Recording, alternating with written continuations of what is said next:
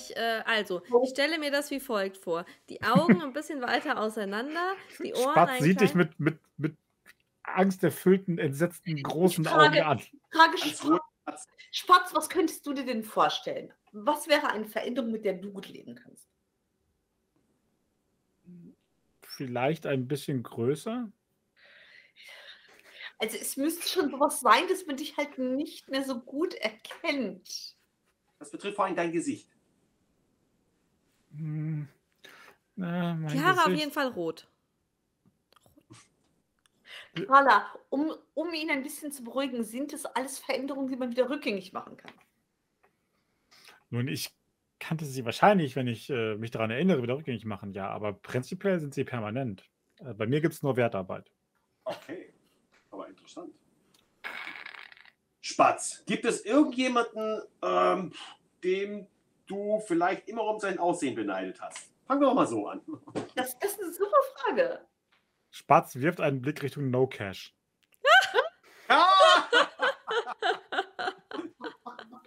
Ich finde es übrigens sehr, sehr schön. Ich muss eine Sache im Chat vorlesen. Wenn mich jemand fragt, kann ich auch No-Cash jemanden so verändern, dass man ihn nicht wiedererkennen kann? Korrekt. Das ist leider korrekt. Es gibt äh, No Cash kann sehr viele andere Fähigkeiten. Äh, äh, Man kann, genau. man ja. kann mit man kann mit No Cash Fäusten kann man sehr viele andere Fähigkeiten äh, simulieren. Okay, aber das ist doch mal eine gute Richtung. Mit der kann die Carla doch bestimmt arbeiten. Ähm, ja, das kann ich, Schatz. Das kann ich. Soll ich soll ich äh, einfach eins zu eins kopieren? Das wäre. Warte, Was, was? Ein zweiter No-Cash?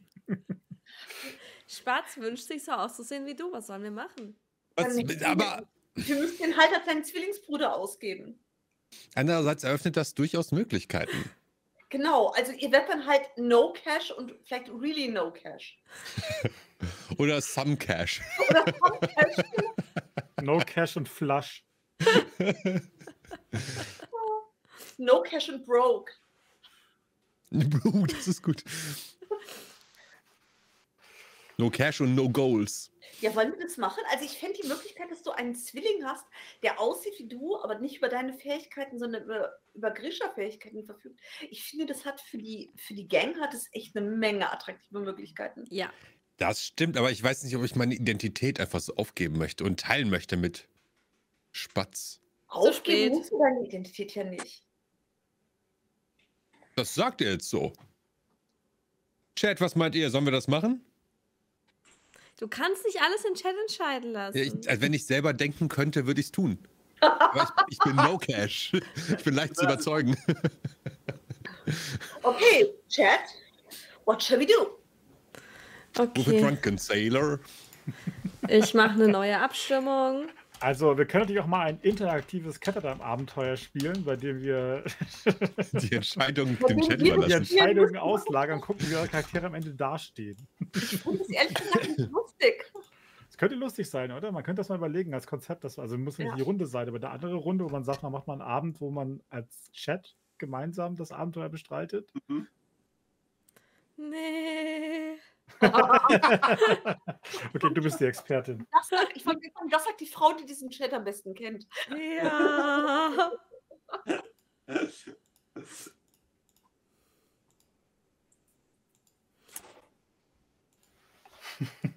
No Cash 2.0. Ja, No Cash 2.0. Das ist die Frage. Ja oder nein, lieber Chat. Dün, dün, Ich meine, was ist die Alternative? Die Alternative ist, dass er halt einfach anders aussieht.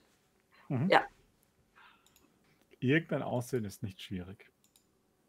Das wäre Also- schon interessant irgendwo. Also jetzt mal. Ja, oder? Ich finde auch, das hat echt schon Möglichkeiten. Gönnen wir ihm noch was? Aber es fällt auf, wenn der Fake Cash ähm, nicht zuhauen kann. Oder sogar nachdenkt und diskutiert.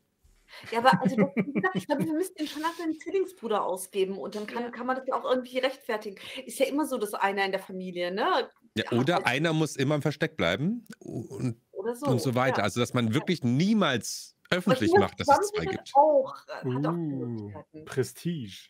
Ja, ja, genau so. Oh, ja, genau, Prestige, ja. Was ja eher ein Hinweis ist, dass wir es nicht machen sollten, so, oder? Es gibt ja nur Fragen. Hey, wieso? Lief doch gut. Ja. Also eine Zeit lang. Chat? Chat ist mit überwältigender Mehrheit dafür. nice. 69% wünschen sich No Oh. Cash 2.0. Oh. Nice. Na gut, ich beuge mich Chat. Okay, No Cash ist überzeugt. Okay. Wir brauchen Broke.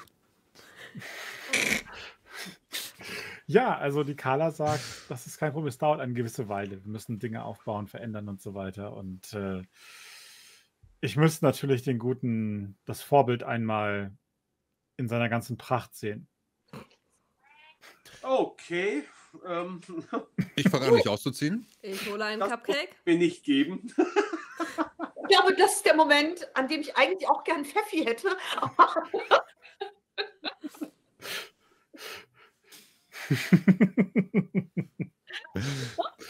Ja, also die, die Carla guckt sich das alles sehr genau an und äh, würde um den, äh, den nackt äh, posierenden No Cash einmal genau herumgehen, das alles genau ansehen. Und äh, der Rest von euch äh, kann überlegen, was ihr dabei tut. Also Lisa hat gerade so zwischen den Fingern durchgeguckt. okay. Ähm, ja, und dann sagt sie, das wird ein bisschen dauern. Soll ich, also, soll ich gleich anfangen? Ja. Ja.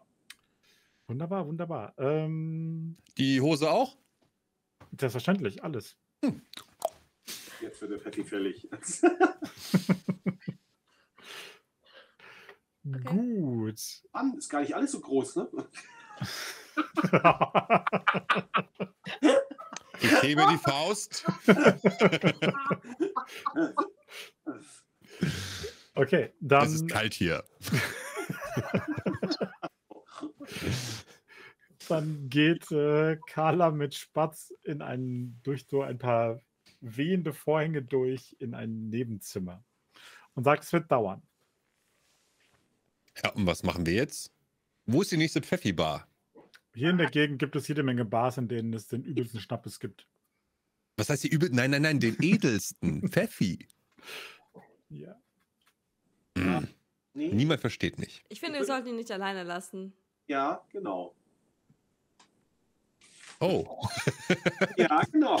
No Cash begreift endlich, warum das ein Problem sein könnte. Also eigentlich würden wir das, glaube ich, gerne so sehen, dass man durch, zumindest durch einen Türspalt bei der Operation zugucken kann. Hm. muss, muss No Cash dabei sein als Model weiterhin? Oder Nein. reicht einmal gucken? Das reicht hier. Ich glaube, ich vertraue darauf, was hinter dieser Tür passiert. Ich muss es mir nicht ansehen. Ich habe ein bisschen Angst um unseren Grisha. Doch, ich möchte gerne zuschauen. Dann bleibt Krittel da und wir gehen was trinken. Ich bleib bei Krittel. Oh. Ah, ich muss Chefin, was sagst du? Captain Cake und ich sind an. Mitgehangen, mitgefangen. Wir beobachten alle fleißig die Also sie, OP. sie lässt euch jetzt nicht 100% in denselben Raum, wo sie arbeitet, aber ihr könnt natürlich in, dem, in ihrer Unterkunft bleiben. Dann seid ihr durch ein paar Folgen getrennt. Aber äh, sie lässt euch jetzt nicht äh, sozusagen der Operation beiwohnen. Das ist okay. Gut, und dann sitzt sie da und könnt ein bisschen Tee trinken und warten und Tee trinken und warten. Und ähm, während ihr also in diesem Vorzimmer der Grischer sitzt, wo euer eigener Grischer in No Cash 2.0 verwandelt wird, Oh oh.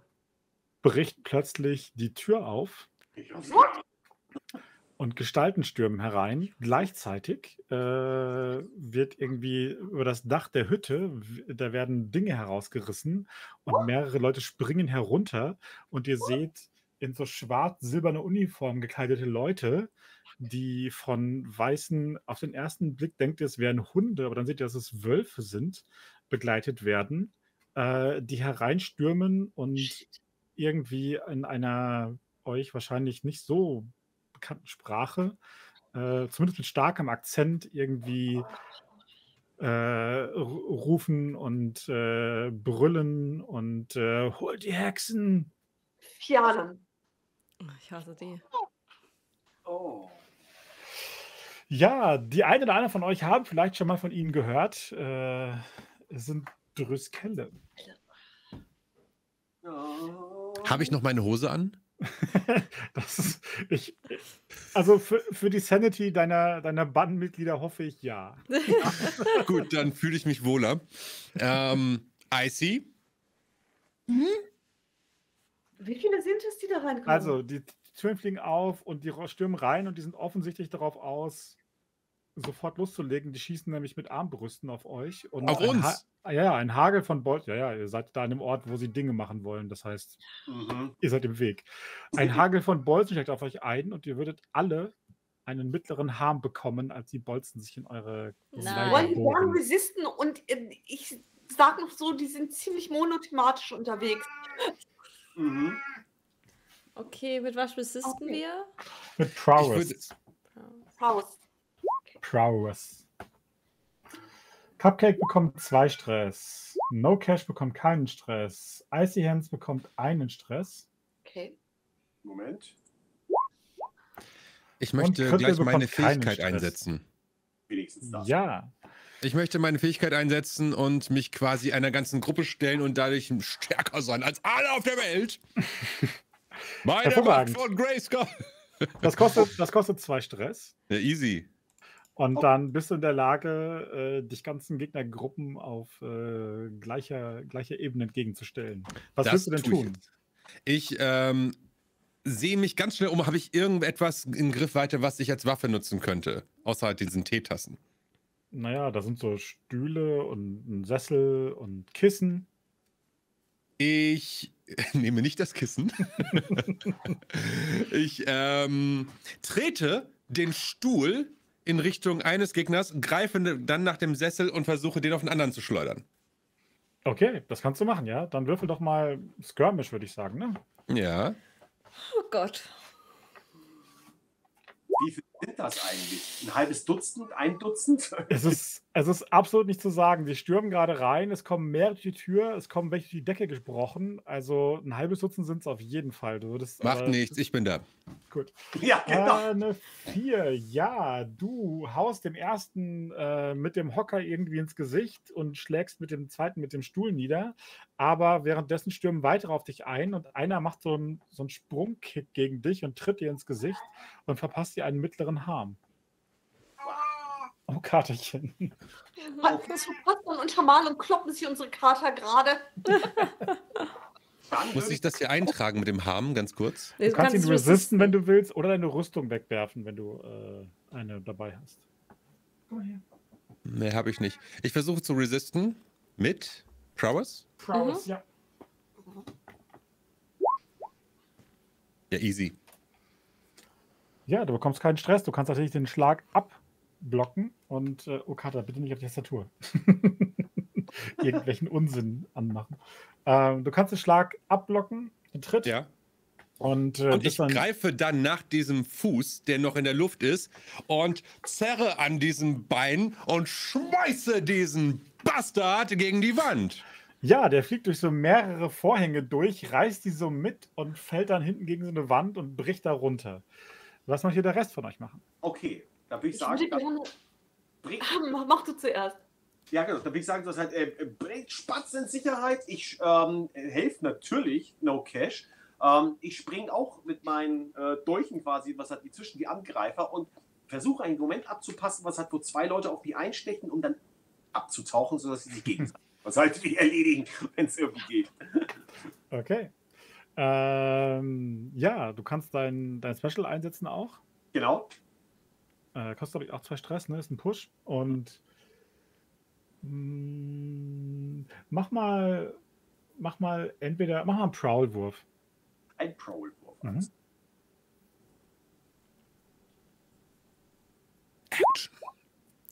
Hm.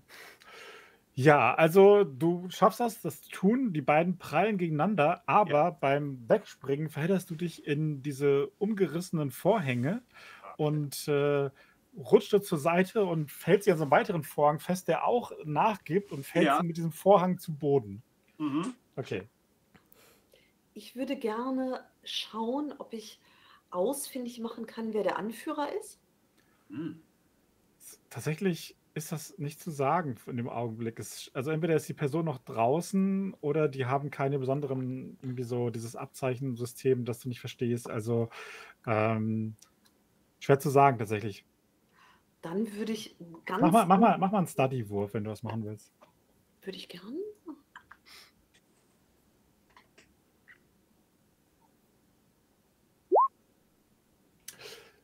Du bist dir ziemlich sicher, dass Ja. äh, du von draußen was gerufen hörst in dieser Sprache der Fjorden. Und äh, du glaubst, dass die Anführ der, der Anführer ist draußen. Ich würde versuchen, mich dem zu nähern, würde meine beiden kleinen Pistolen ziehen und wenn ich den sehe, offen zielen und brüllen: Zurück oder stirbt! Oh yeah. Okay, also du versuchst ja durchzuarbeiten. Dabei kriegst du aber einen Schlag mit so einem krummen äh, Dolch ab, der dir einen mittleren Harm verpassen würde, wenn du nicht mit Prowess dagegen arbeitest. Uh, kein Stress. Ihr seid heute Abend habt ihr das Glück an den Fingern beim Würfeln. Ähm, du kommst also durchgeduckt, du riechst deine beiden Waffen auf den Mann. Das ist ein großer Mann mit so einem Bart, äh, der hat auch diese äh, schwarz-silberne Uniform an, hat ein mächtiges Schwert in der Hand ähm, und so eine Kette mit so einem Haken an der anderen Seite. Und du zielst auf den und brüllst ihm diese Befehle zu. Und der, ähm, der macht so die, die Arme auseinander und präsentiert sich so und lacht dir ins Gesicht. Die sind offensichtlich relativ fanatisch. Cupcake. Ja, ich renne zu Spatz und äh, wie auch immer ihr Name war, ich habe schon wieder vergessen. Carla. Carla. Die ist gerade dabei, die hat gerade ihre Hände auf ihm liegen und macht irgendwelche Dinge und du siehst da so ein Mhm. Leuchten und äh, Veränderungen und sie sagt, wenn ich jetzt aufhöre, passieren schlimme Dinge. ja, Das ich bin ja auch hier, um dich zu beschützen. Und ich stelle mich mit einem Cupcake in den Eingang. Also sie guckt dich nicht mal an, deswegen ist sie jetzt nicht so erstaunt, aber würde sie dich angucken, wäre sie erstaunt. es versuchen Leute an dir vorbeizukommen tatsächlich. Also der Eingang ist natürlich relativ, weil da sind ja nur diese Tücher und so. Also Mhm. es, aber das ganze Kampf, also der ganze Schlachtort ist relativ äh, unübersichtlich wegen dieser tausend Tücher, die jetzt teilweise auch rumfliegen Mhm. und so. Mhm. Ähm, und die, die sind offensichtlich hinter äh, der Carla her oder, oder Oder Spatz. dem Spatz. Ja. Oder Spaß. Also dann, kann, kann, ich mich, kann ich mich hier auf. Warte, warte, warte, sorry, sorry. Die, die Cupcake wollte ja sich versuchen, die aufzuhalten. Wie machst du das denn? Ähm, du erinnerst dich, dass die Cupcakes, die ich mitgenommen habe, ja besonders mit starkem äh, Schlafmittel versetzt wurden, Ja. weil meine Cupcakes so niedergeredet wurden von der Mannschaft, dass ich sie diesmal extra stark ähm, gemacht habe. Und ich drücke sie den Personen, die an mir vorbeilaufen, ins Gesicht rechts und links. Also auf den Mund. Du versuchst sie damit zu füttern, während sie vorbeilaufen. Ja. Verstehe. Äh, Das klingt nach einem Finessewurf. Bitte lass es funktionieren. Bitte. Oh. Nein. Im Gegenteil, du, du kommst den Cupcakes an und versuchst sie ins Gesicht zu treffen, aber der eine schlägt mit der Hand so weg und du haust dir deinen eigenen Cupcake ins Gesicht. Das ist schlecht. Dem würde Und ich du gern spürst- resisten, weil du ich weiß, was da spürst den drin Geschmack ist. so auf den Lippen und merkst so, oh shit.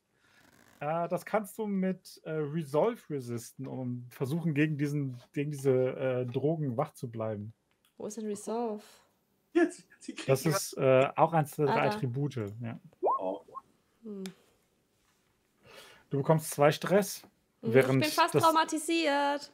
während das Schlafgift durch deine Adern kreist. okay. Sagst du, wenn, ich, wenn wir handeln können? Wir können handeln. Klar. Ich habe nur im Ohr, dass sie vorhin sagte, wenn wir das jetzt abbrechen, passieren schlimme Dinge. Und ich habe das Gefühl, schlimmer als jetzt kann es nicht mehr werden. Wir brauchen schlimme Dinge. Ich versuche vorzustürzen und tatsächlich ähm, Spatz, was hat äh, ihrem, ihrer Behandlung zu entziehen, indem ich ihn mitreite, fluchtmäßig, gerne Nein! aller noch verpasse. Nein, das machst du nicht. doch. Oh doch. Ich krieg das mit und versuche, Crystal festzuhalten. Crittle, mach mal einen Prowl-Wurf. Nein. Nein. Hallo, ich bin Chirurg. Ich operiere gerade. Ein wunderbarer Wurf. No Cash sieht das noch, greift danach, aber Krittel ist zu schnell, springt durch die, springt durch die Vorhänge durch, wirft sich auf Spatz, packt den, reißt mit sich und du mhm. möchtest gerne mit Spatz irgendwo nach draußen entkommen, ja? Was auch immer der Nähe liegt. Eine Tür, ein Fenster. Fenster. Hm? Ja, du packst Spatz und springst mit dem so durch das Fenster durch äh, Ja. auf so einen kleinen Vorbalkon tatsächlich. Ja. Also Vordach, Entschuldigung, Vordach. Ja, ja. Ihr kracht da raus und Cupcake, äh, nicht Cupcake, Entschuldigung, Spatz schreit äh, furchtbar auf. Äh, Mhm. Ob du jetzt vor Schreck oder Schmerzen kannst du nicht genau sagen. Ihr brecht auf dieses Vordach, rollt ein bisschen herunter und du kannst euch aber so auf diesem Vordach festhalten, euch beide. Okay. Okay, was möchte der Rest machen? Also ich bin ja nach vorne, ne? Ja, Ich würd, würde schnöde dem Anführer in die Füße schießen. ja mach mal einen Skirmish-Wurf. Oder Hand, je nachdem, was du, was du machen willst. Aber Skirmish ist eigentlich das Richtige. Okay, äh, ich hätte es mit. Ich kann den Plan noch ändern und ihn schlagen. Ich glaube, das kann ich besser. Äh, Ich schieße, ist okay, ich habe es gesagt. Gut, ja, du schießt auf den. Ähm, du triffst den auch, aber der hat irgendwie anscheinend so zumindest ein bisschen Schutz. Der wird, Was in so seinen, auf seinen Füßen? der- der wird so herum. Ja, du schießt nicht auf die Füße, du willst auf die Füße schießen, aber du triffst ihn eher so in die Schulter. Der wird so herumgewirbelt, aber mit, seiner, mit, dem, mit dem linken Arm reißt er die Kette mit dem Haken dran hoch. Die trifft dich so in der Seite. Der Haken verhakt sich in deinen Körper und der reißt sich so auf dich zu und haut mit seinem Schwert nach dir und will dir einen, einen mittleren Harm verpassen durch die beiden Angriffe. Ich Oh, versuche. Icy Du Hands Du, zu könntest, helfen. du kannst entweder mit Prowess resisten oder du kannst, äh, wenn du Rüstung dabei hast, kannst du sie dafür ausgeben, um das, dass die Rüstung das abfängt. Ich würde erstmal Prowse probieren. Du kannst zwei Stress. Okay, aber ist es auch die richtige Situation dafür, um echt gestresst zu sein? Das ist korrekt, ja. Ich komme, jetzt mal muss ich auch mal wieder was machen. Ähm, ich Ja. komme auf Icy Hands und diesen bewaffneten Anführer zugerannt. Und mein Plan ist es, ich komme ja wahrscheinlich von hinten, von der Seite, er ist ja gerade noch mit ihr beschäftigt. Hat gerade Die, die so sind draußen, du müsstest halt durch die Tür raus. Achso, die sind, ich- wir sind nicht mehr im selben Raum. Ja, ja, genau. Okay, wie sieht es denn bei mir aus? Wie viele sind denn um mich herum überhaupt? Um dich herum sind noch drei, vier, so halb, äh, also äh, drei voll bewusst äh, bei Bewusstsein, eine halb bei Bewusstsein, äh, die äh, ja noch da sind. Haben die Waffen? Die haben Waffen, die haben vor allen Dingen Klingen und Armbrüste und äh, so, so komische Okay, Waffen, ich, so ich und suche so. mir den Typen, der am nächsten dran ist. Was hat der? Hat der Armbrust und Schwert? Der hat eine Armbrust. Der hat eine Armbrust. Dann versuche ich, renne auf den zu, packe seinen Schädel, reiß ihn um und ist eine Wand in der Nähe? Nein, nur Tücher, ne? da sind auch Wände da. So ist es. Aber ja sind die nah genug? Oder ja, ich erstmal der laufen? Kampf bewegt sich ja die ganze Zeit. Also du kannst auch Okay, also dann packe ich seinen Schädel und schleudere den gegen, also packe, hau den einfach mal gegen die Wand. Und wenn das klappen sollte, nehme ich sofort die Armbrust und schieße auf den nächstbesten. Alles klar, mach mal einen Skirmish-Wurf.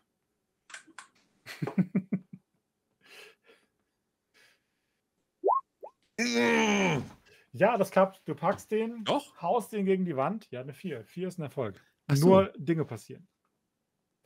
Du reißt die Armbrust herum, allerdings äh, springt einer seiner Gefährten ihm zur Seite und äh, schlägt mit seiner Klinge nach dir, aber du drückst ihm die Armbrust in den Bauch und drückst ab und der Bolzen schlägt ihm direkt in den Bauch und der fällt nach hinten, prallt gegen den dritten und reißt den mit sich um. Wow! Allerdings würdest du, allerdings, allerdings würdest du eine mittlere Wunde bekommen, weil dir das Schwert äh, so in die Rippen schlägt. Ja, das ist dann wohl nötig, oder kann ich da irgendwas tun? Die Rüsten oder die Rüstung ausgeben. Ich äh, habe, glaube ich, gar keine äh, Rüstung. Man kann immer, du, du weißt ja, du kannst immer sagen, ich habe Rüstung dabei. Wenn du Ausrüstung anhast, dann kannst du. Ja, klar, ich habe ja Rüstung dabei und ja, die ist jetzt wohl leider kaputt. Schade drum, war mein Lieblingsstück von meinem Urgroßvater. Genau. Du bist ja ein Profi, so du, ist gehst ja nicht, un- du gehst ja nicht ohne Rüstung raus. Nee, klar, klar. Klar, ne? logisch. Jetzt ist sie kaputt. Schade, Urgroßvater, aber danke dir. Okay. Cupcake. Weiß ich, weswegen die hier sind? Ihr könnt es vermuten, ja. Das sind, also man kennt die Geschichten von den, von den fanatischen Fjorder, die irgendwie Grischer jagen und dann vor Gericht stellen, wo das total fair ist, weil die Grischer ja nicht aufgrund ihrer, äh, ihres alleine ihrer Existenz schon schuldig sind. Wie sehr hängen wir an dieser Kader? Weil wir sie eventuell nochmal brauchen. Ich glaube, der Zug ist abgefahren. Also wir sind in drei verschiedenen Arealen am Kämpfen. Ich weiß nicht, ob es sich lohnt, wenn einer flieht, weil der Rest weiterkämpft. Ja. Nein, nein, ich, ich frage mich, ob ich diese Kader verkaufe. Nee.